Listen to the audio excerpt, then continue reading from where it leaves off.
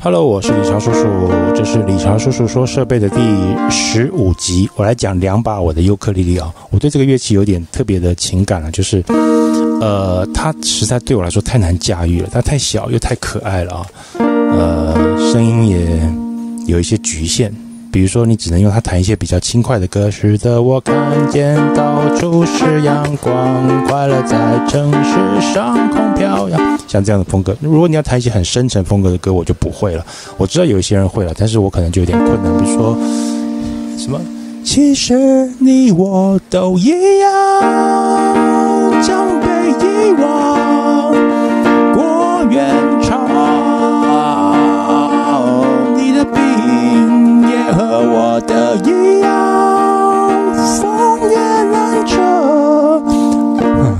这个调太高了啊，嗯，那有一些人啊，他可以弹得很丰富的东西。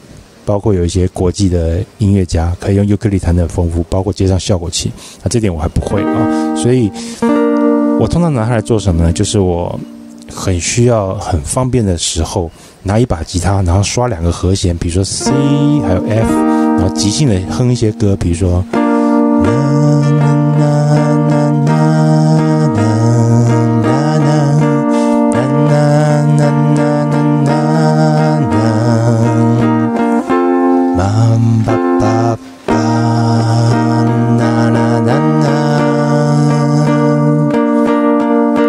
好因为它很好拿，而且弹的和弦也是乐器的和弦，不管是钢琴还是吉他还是尤克里里，其实和弦都是和弦啊，跟你是什么乐器没有关系。你可以用它来创作歌曲，然后再用别的乐器来实现。好，这是一把，这把是 G 牌的，是很便宜的一把尤克里里啊，呃，不到四百块就可以买得到，甚至更便宜啊。如果你需要的话，可以找我，这个品牌我这里有很多。好，我再讲我另外好这把大了一点啊。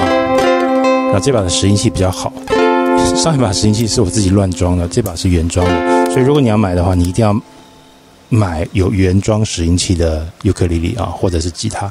呃，如果你找我的话，你要提早跟我讲好啊。这把我我我对它有个特别的感情，就是你看我在这里贴了贴纸，因为我在我最呃经济上最困难的时候，其实我呃用教小朋友尤克里里赚了很多钱啊。呃，度过了我一个比比较阶段性的难关，而这把这把尤克里里其实是人家送我的，就是在那个时候，大概是二零一五年吧，呃，是迦南琴行的李弟兄送给我的。那时候我其实我非常感动，我真的很需要它。然后我记得我还在餐厅演出，是一个叫做金色山脉的，然后在上海的市中心，他有一个要求，就是说在中间休息的时候。乐手要拿着乐器到台下跟客人互动，然后想一想，就是尤克里里最适合了。所以在那些年，我大概用这支尤克里里在台下唱了，可能有一百多次这首歌。祝祝你生日快乐！祝哦对，是英文，因为台下都不准唱中文。Happy birthday to you，Happy birthday to you，Happy birthday to。叉叉叉，Happy birthday to you。